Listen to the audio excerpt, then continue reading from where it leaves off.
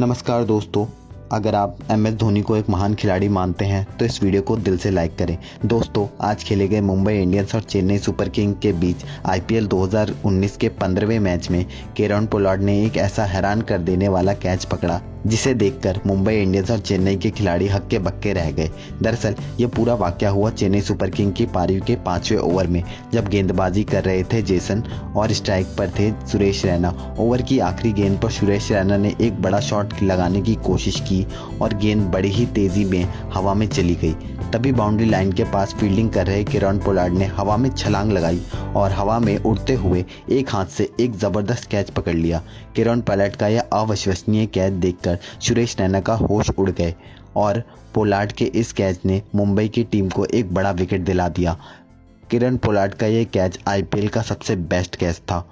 आपके पसंदीदा टीम कौन सी है आईपीएल 2019 में? हमें कमेंट सेक्शन में लिखें। इस वीडियो में इतना ही। वीडियो को लाइक और शेयर करें। और अगर आप हमारे चैनल पर पहली बार हैं तो चैनल को सब्सक्राइब करना ना भूलें। हम रोज़ाना वीडियो अपलोड करते हैं। धन्यवाद।